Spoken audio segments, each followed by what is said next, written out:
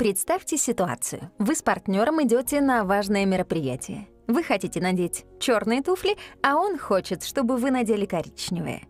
Как вы здесь договоритесь? Многие верят в обоюдную выгоду или вариант 50-50. Если вы разделяете такую позицию, ответьте мне, что станет обоюдной выгодой в данном случае? Наденете туфли разного цвета? На одну ногу черного, на другую коричневого? Но это же смешно, правда? Именно такого мнения придерживается Крис Восс, который не верит в обоюдную выгоду.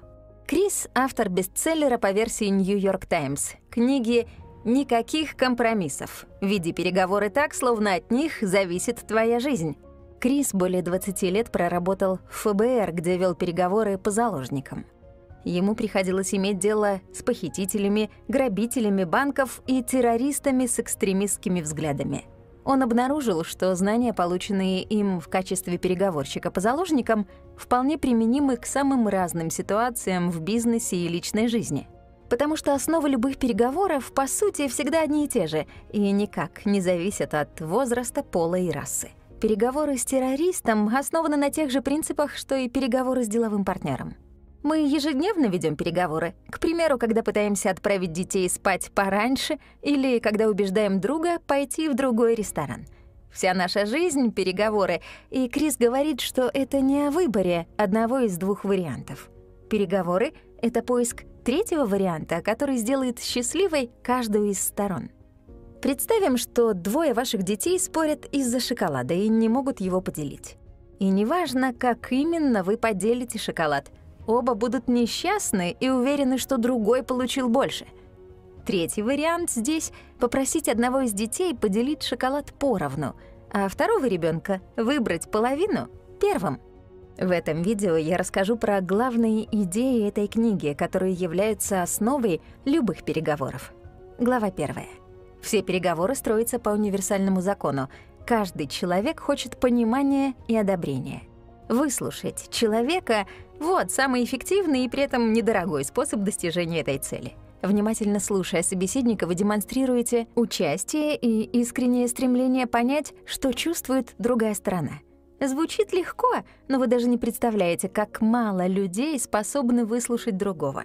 Когда один начинает говорить, второй, вместо того, чтобы слушать, думает о том, что скажет сам — и когда первый умолкает, второй просто выдает свою речь, независимо от того, что только что сказал его собеседник.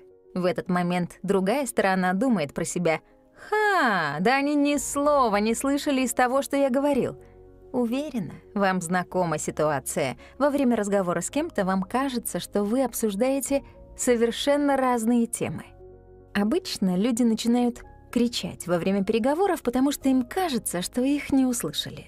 Все хотят трех вещей от переговоров. Первое — быть понятым. Второе — уважение. И только в последнюю очередь люди хотят получить от переговоров желаемое. И если вы не в состоянии слушать людей, не ждите успеха в переговорах. Глава вторая. Люди, воспринимающие переговоры как битву аргументов, в итоге слышат только себя и свои доводы, а не собеседника — но правда в том, что переговоры — это не сражение, это процесс выяснения. Их цель — выяснить, чего же хочет вторая сторона. Может, это деньги, время, уважение, признание или что-то еще. Для выявления цели автор советует применять ряд тактик. Первое и самое простое — Улыбайтесь. Когда вы кому-то улыбаетесь, вы словно проникаете в сознание человека и переключаете его на позитивную волну. В хорошем настроении мы на 31% умнее, точно так же, как если мы в дурном настроении, мы становимся на 31% глупее обычного. Второе — это тактика отражения. Суть ее проста. Повторяйте последние три и более важных слова, произнесенных вашим собеседником. К примеру, Оппонент. Мои ожидания очень высоки, и я хочу больше денег. Вы. Хотите больше денег? Сперва тактика отражения может показаться странной, но если попрактиковаться, эффект от нее станет волшебным. Эта тактика вынуждает оппонентов буквально извергать информацию. Это гораздо полезнее, чем просто спросить, что вы имеете в виду. Когда вы говорите, что вы хотите этим сказать, Вы как бы даете своему оппоненту возможность обдумать сказанное и поправить свои слова. В то же время тактика отражения позволяет беседе идти гладко и вынуждает собеседника озвучивать все больше информации. Отразив сказанное, посидите молча хотя бы 4 секунды и дайте волшебству отражения сработать. Глава 3. Тактическое участие.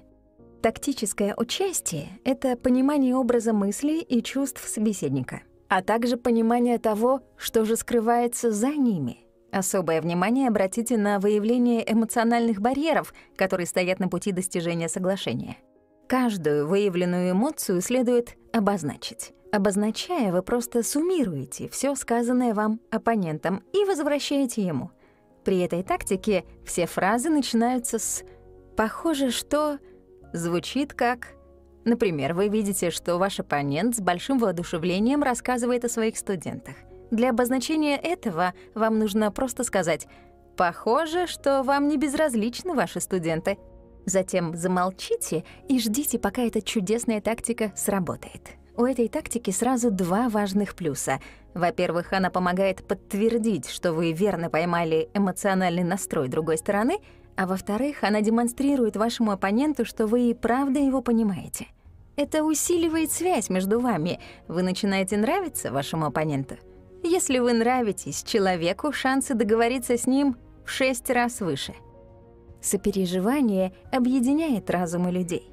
Чувство участия — Понимание того, что есть нечто, что заставляет вас со мной сотрудничать, позволяет направить энергию вашего разума и моего на совместные поиски варианта решения проблемы.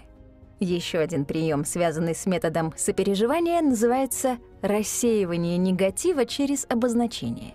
Особенно эффективен этот прием, когда вы точно знаете, что другая сторона на вас зла и испытывает к вам только негативные чувства — Перед тем, как отправиться на переговоры, сядьте и хорошенько подумайте обо всем плохом, что ваш оппонент может сказать вам в ходе этой встречи или переговоров. Определив весь негатив, который у него против вас имеется, обозначьте его. К примеру, предположим, что ваш клиент крайне недоволен тем, что ваша компания просрочила дедлайн и не выполнила свои обязательства в обещанный срок. С учетом этого вы понимаете, что клиент считает вас ненадежными и неспособными сдержать свои же обещания.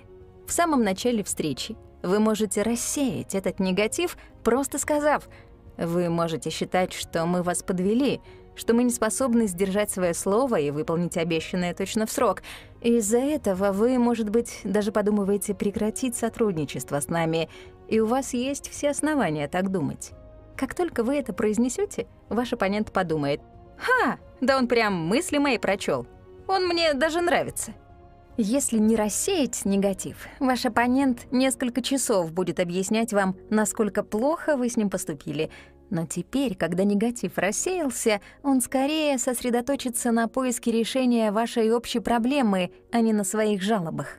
Негативные эмоции и страх поражения в три раза сильнее влияют на наш мозг, чем позитивные мысли. Поэтому помогите своему оппоненту избавиться от негатива. Это поможет вам обоим достичь лучших результатов. Глава 4. Начните с «нет». Настойчивое желание услышать «да» едва ли приближает вас к победе. Вопреки всеобщему мнению, «нет» является отправной точкой для переговоров, а не их завершением. Говоря «да» чему-то, вы чувствуете себя связанным обязательствами или и вовсе в западне. К примеру, если я подойду и скажу «Есть пять минут поговорить», сказав «да», вы сразу начинаете думать «А сколько на самом деле продлятся эти пять минут?» Неужели я застряну с ней на целый час и уйду домой позже? Она что, снова будет продвигать мне свою дурацкую идею? Все это отвлекает вас и мешает сосредоточиться на переговорах. Вам хочется только одного — поскорее сбежать. Для сравнения, если бы я не вынуждала вас говорить «да», а спросила бы «сейчас неподходящий момент, чтобы поговорить пять минут, да?» Вероятнее всего, вы бы ответили «нет, вовсе нет, но дай мне закончить X, Y и Z. Встретимся через 15 минут в моем кабинете». Начав общение с отрицания, вы не чувствуете себя в ловушке, ведь вы ни на что не подписывались. К тому же ответ «нет» дает вам контроль. ведь это вы предложили встретиться через 15 минут. А чувство контроля над ситуацией помогает быстрее мыслить, помогает сосредоточиться на процессе обсуждения, не отвлекаясь ни на что. Кроме того, сказав «нет», вы сами ответили на два последующих вопроса. Мне не пришлось спрашивать вас о месте встречи. Я без труда получила от вас все, что хотела. Глава пятая. Это точно. Это точно одна из самых значимых фраз, которые вы надеетесь услышать в ходе переговоров. Чтобы ее услышать, нужно просто повторить слова вашего оппонента. Звучит просто и, вероятно, глупо, но отлично работает. Это как сопереживание со стороны оппонента, но многократно выросшее. Если вы слышите «это точно», можете не сомневаться, соглашение почти у вас в кармане. Это точно — так мы говорим, когда чувствуем себя услышанными и верим в то, что оппонент нас действительно понял. Мы также говорим «это точно», когда обсуждаем что-то смешное. Но будьте бдительны. Если вам говорят «вы правы», это означает полный провал. Фразы едва отличаются, но их смысл совершенно противоположен. Когда кто-то говорит вам «вы правы», он почти наверняка пытается от вас отделаться или закончить разговор. Спасибо за просмотр. Хорошего вам дня.